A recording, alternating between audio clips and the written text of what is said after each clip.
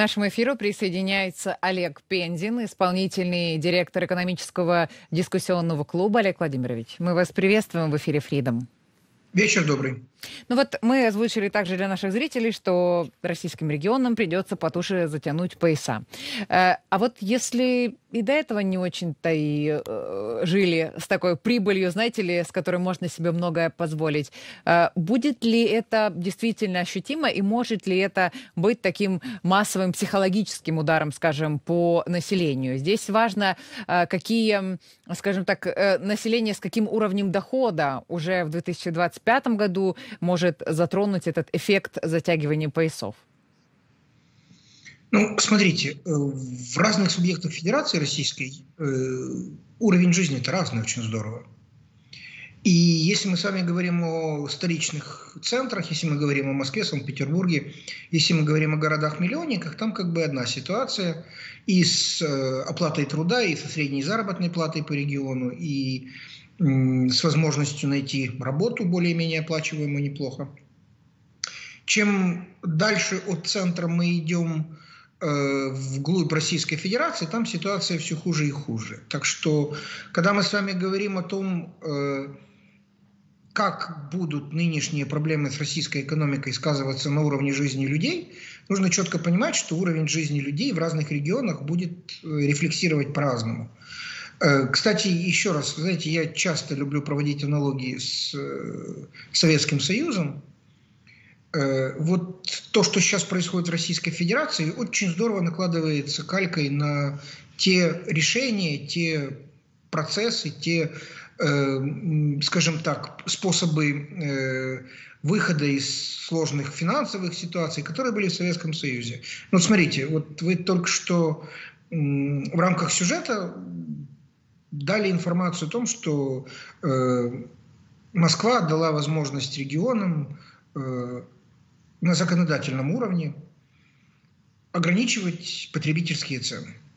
Для того, чтобы таким образом э, не дать возможности раскручивать инфляционному маяку. Ну а вот э, что это значит? Это значит, что э, как только вы начинаете э, на административном уровне регулировать цены, у вас э, тут же происходит несколько процессов. Первый процесс. Либо падает качество, либо физический производитель э, отказывается от производства этого вида товара, и у вас появляется дефицит. В наиболее вероятным э, сценарием развития событий вот при государственном регулировании жестком цен на продовольствие, на товары первой необходимости, промышленной группы – будет возникновение дефицита. Ну, давайте вспомним Советский Союз. Вот полностью ситуация. Да, цены были дешевые однозначно, как бы, но попробовали бы вы за эти цены приобрести тот или иной товар.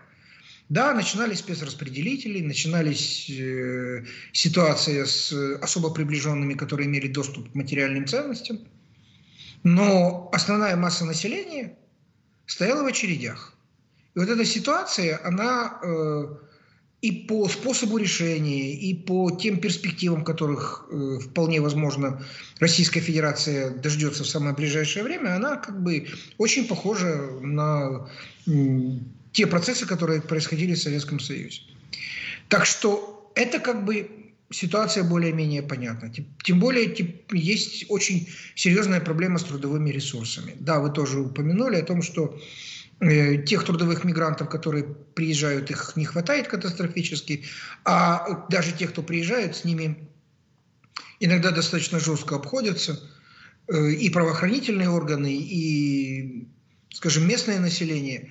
Но нужно же понимать следующее. Нужно понимать, что куда в основном едет э, трудовая миграция. Она едет на те сферы э, экономики, которые характеризуются очень э, низким уровнем автоматизации, низкий, низким уровнем оплаты труда, но которые предполагают достаточно большую значимость. Ну вот сельское хозяйство, например, да? Или там строительство, или там жилищно-коммунальное хозяйство. Где работали мигранты в основном? Вот в этих секторах. Что там происходит сейчас? Катастрофический дефицит кадров. Катастрофический. И это еще более усугубляет ситуацию с объемами производства. То есть, с одной стороны, производителю становится неэффективно и невыгодно производить, с другой стороны, ему просто неким производить. Так как нет трудовых ресурсов, все они оттягиваются достаточно высокими зарплатами в предприятия военно-промышленного комплекса, которые как бы активно подпитываются бюджетным финансированием. Кроме всего прочего, мы с вами прекрасно знаем о том, что любой бизнес работает из заемных ресурсов. Если у вас систематически повышается ставка рефинансирования, автоматически повышается и э, ставка по кредитам, то те, кто вынуждены активно привлекать кредиты в своей производственной деятельности, находятся в значительно худших условиях, чем те, которые работают за счет прямого бюджетного финансирования. Угу. то есть, понимаете, это все э, процессы, они до такой степени как бы уже э, были отработаны, изучены, четко э, как бы сформулированы анализом экономистов тех процессов, которые происходили в Советском Союзе. Мне просто удивляет, как э, россияне становятся в очередной раз на одни и те же грабли. Ну, кто-то достал книжечку, сдул с нее пыль, да, открыл да. и начал читать, как надо делать. Просто да.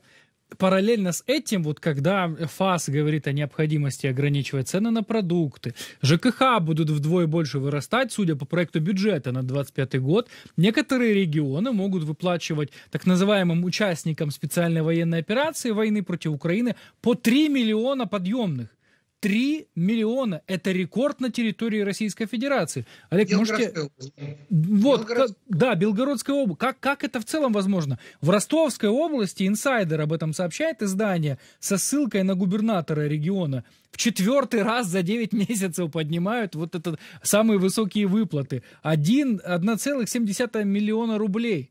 Как это можно, как это вообще в целом в одной стране, в одной экономике, э, в принципе, может жить одновременно? Где-то ограничивают цены на продукты, где-то растут цены на продукты вот по экспоненте с 22 года, где-то ЖКХ больше, а где-то по 3 ляма, простите, за убийство. Нет, подождите, вы ж не уточнили. Это 3 миллиона разовая выплата да. по подписанию контракта. Далее человек, который пошел на э, службу, подписал контракт, он получает все соответствующие ежемесячные выплаты, которые полагаются военнослужащему Российской Федерации. То есть мы говорим с вами о разовой выплате. Причем абсолютно нужно четко понимать, что эта выплата состоит из двух частей. Там 400 тысяч – это бюджетные деньги, деньги центрального бюджета. А остальная сумма – это инициативные выплаты регионов. При этом я так понимаю, что регионы не просто так этим делом занимаются. Дело в том, что губернаторам доводятся планы по привлечению людей на контрактную службу в вооруженные силы Российской Федерации. И для того, чтобы выполнить э, эти планы, применяются любые методы, в первую очередь э, методы финансового стимулирования, которые осуществляются за счет того, что, например, э, прекращаются национальные программы, прекращаются э, финансирование строительства новых школ, новых больниц, улучшение системы здравоохранения. Ну, то есть те направления, которые, собственно, и призваны улучшать жизнь того, тех людей, которые, собственно, живут в этом регионе. Поэтому э, вот как бы данная ситуация, она просто еще раз говорит о том, что э, на сегодняшний момент вся экономика Российской Федерации поставлена на военные рельсы. И э, благосостояние людей, и улучшение уровня их жизни на сегодняшний момент российскую власть ну, в реале действительности не волнует. А как экономическая ситуация, ухудшающаяся для России с продолжением войны против Украины, повлияет на уровень безработицы? Потому что Кремль, конечно, пытался э, практически нулевой уровень безработицы как э, победу предоставить своему населению, но мы понимаем, что это абсолютно плохо для России в целом. Э, есть ли вообще такие, например, ужасающие перспективы, как, ну, например, что какие-то профессии будут либо исчезать, либо полностью переформатироваться, либо, к примеру, там те профессии, которые считались там из-за применения большей силы э, более мужскими, скажем так, э, тут туда будут заставлять эти женщин. Как-то вот как в этом ситуация может развиваться? Ну, смотрите, мы с вами уже обсуждали ситуацию с миграционной политикой. Mm-hmm. Мы уже как бы поднимали вопрос о том, что России необходимо, ну, как минимум, там, в год 15, 18 до 20 миллионов трудовых мигрантов, а реально на сегодняшний момент приходит, ну, в лучшем случае, там, одна четвертая часть того, что нужно, там 5-6 миллионов приезжает, и то нужно понимать э, качество этого трудового персонала. Э, собственно, когда мы с вами говорим о безработице, да, сегодня она меньше 2%, и при том, что дефицит рабочей силы страшный. И в данной ситуации те отрасля российской экономики, которые сидят на прямом бюджетном финансировании, а это отрасли военно-промышленного комплекса, они имеют возможность, собственно, и как бы и задания для выполнения контрактов, э, которые они подписывают, э, привлекать на свои предприятия людей, э, соблазняя их достаточно серьезным социальным пакетом, увеличенной заработной платой, гарантией от э, будущей мобилизации через бронирование – но э, эти процессы, вы же понимаете, они возможны только в тех отраслях, которые активно финансируются из государства. Я уже сказал, что когда мы смотрим на всю остальную экономику Российской Федерации, которая сегодня страдает от очень высокого уровня э, ставок по кредитам, которая страдает сегодня от очень высоких цен на ресурсы, которые нагнали в реальной действительности те же самые предприятия военно-промышленного комплекса, от сумасшедшей безработицы и отсутствия трудовых кадров. Э, главное, о чем мы сейчас должны понимать, что вот этот сектор, который, сектора, которые активно страдают, это сектора гражданские. Это сектора, которые, собственно, призваны обеспечивать возрастающий уровень жизни российского народа. Это сектора, которые призваны кормить этот российский народ. Поэтому традиционно, опять же, возвращаясь к аналогиям с советским периодом, нужно понимать, что э, начнутся четко разделять регионы по уровню снабжения. Ну, естественно, никто ж не допустит отсутствие продуктов питания там в Москве, в Санкт-Петербурге, правда? Зачем российской власти под боком социальное недовольство? Однако там за 300-400 километров от МКАДа уже, извините, такого не будет. И опять возродятся те же самые колбасные электрички и все остальное. Ну, то есть, еще раз говорю, вот то, то о чем мы, с чего мы начинали, и, собственно, то, что продолжается сейчас. Э, проблема заключается в том, что все это уже россияне видели. Через все это уже э, люди, рожденные в Советском Союзе, проходили. Но просто нужно понимать, что э, тогда советский народ, извините за такую тавтологию, и, собственно, он не видел альтернативы, он не понимал, что может быть что-то лучшее. То есть, э, благодаря достаточно серьезному железному занавесу, уровень жизни э, советского народа на тот момент казался ну, чуть ли не идеальным. Но с того времени прошло много э, лет, и нужно понимать, что с того момента достаточно большое количество россиян э, побывав за границей, поняли, вот чем принципиально отличается уровень жизни там, в бывшем Советском Союзе от уровня жизни в той же загнивающей Европе. И э, сейчас возвращаться вот к тем основам, которые были последние годы Советского Союза, ну, нужно четко понимать, опять же, по, по разным социальным группам позиции это разные. Старшее поколение, может, даже некоторые вещи будут воспринимать с ностальгией, как возврат в молодость. Но молодое поколение, ну уж точно, оно не воспримет это радостно, потому что это для него как бы, ну, конец его ожиданий. Это э, конец тех э, надежд, которые они, собственно, возлагали на, в том числе и Российскую Федерацию.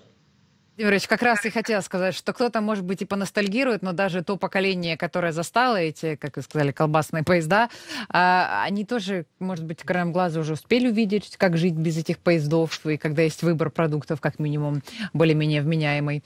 А, благодарим вас за то, что вы присоединились к нашему эфиру. Олег Владимирович Пензин был с нами на связи, исполнительный директор экономического дискуссионного клуба. Если в вашей стране заблокирован доступ к видеосервисам, в том числе YouTube, прямой эфир телеканала Freedom круглосуточно доступен на нашем сайте uatv.ua. Чтобы получить доступ к нему через VPN, введите в поисковой строке вашего браузера «Скачать VPN» и установите приложение согласно инструкции. Таким образом, вы получите доступ к открытому просмотру эфира нашего телеканала.